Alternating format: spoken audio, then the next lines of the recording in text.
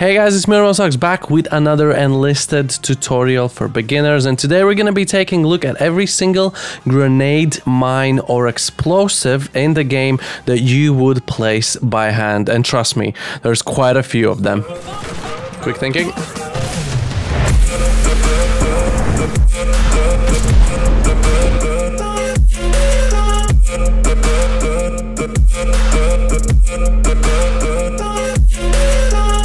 As I mentioned in the intro, today we're going to take a look at all the explosives that you place by hand.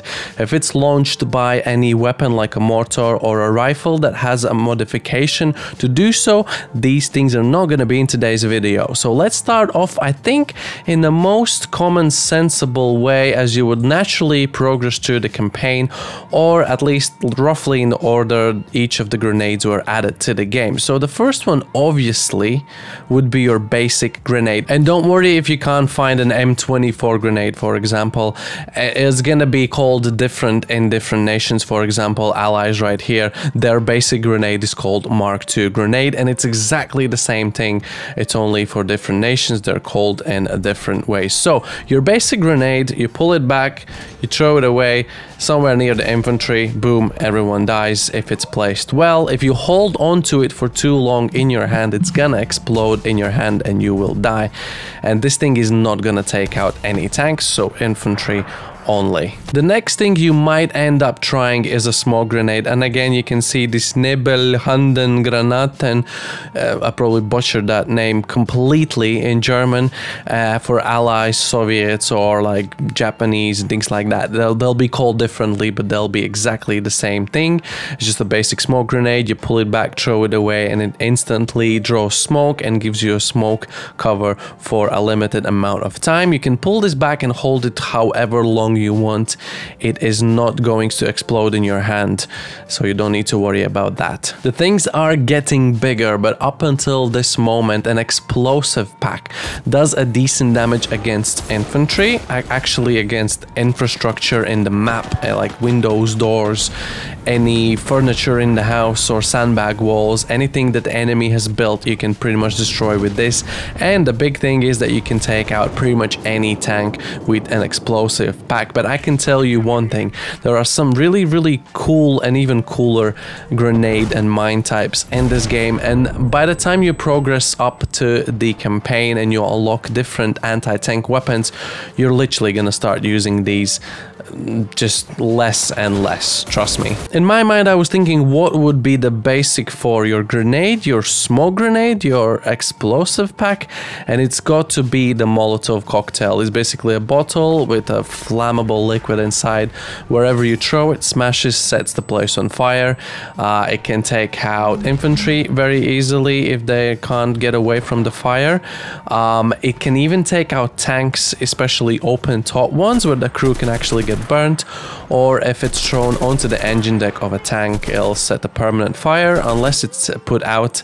The vehicle eventually gonna go kaboom. And again you can pull this thing back and hold for a long as for as long as you want and it's not going to explode in your hand it's gonna explode only when it's thrown away. There are still two more throwable, throwable, is that a word? It's now a word, grenades in the game and I think the correct order for when they were added to the game, the next one for you is probably gonna be an impact grenade. Well, and it basically does what it says. You throw it, it hits something, and it explodes. Either it's a wall, tree, a ground, an enemy, you know, infantry, whatever it hits, it instantly explodes. Again, you can hold it back, you can pull it back and hold it for, for as long as you want, and it's not going to explode into your hand, only when it hits something. And the latest addition to the game regards grenades uh, must be the white phosphorus grenades, aka the cancer grenades. Really cancerous gameplay in Pacific campaign, at least at the moment. Some people complain in Normandy as well.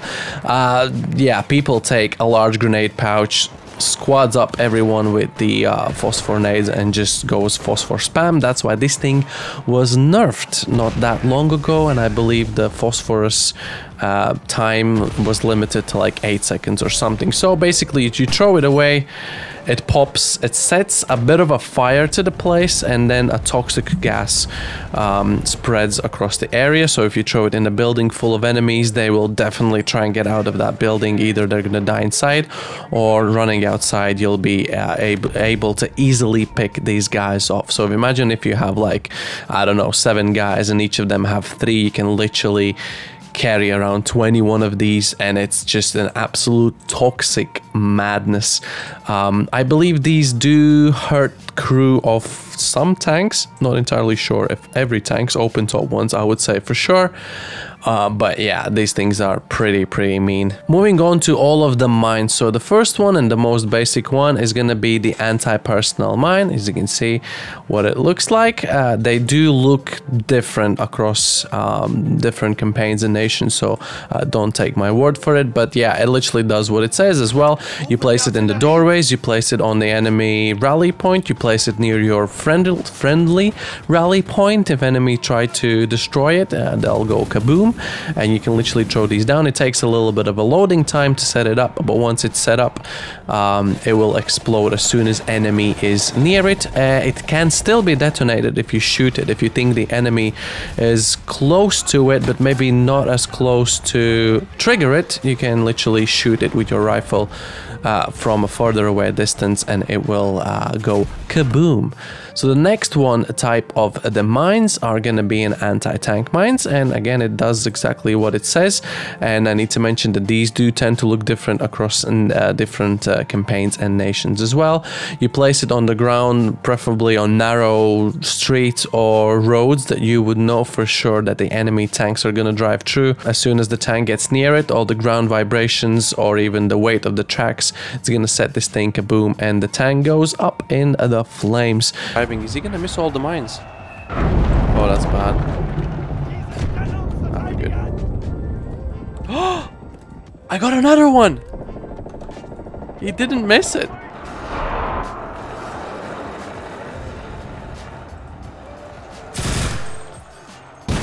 Yes, there goes another tank, but I just seen it with the corner of my eye. What?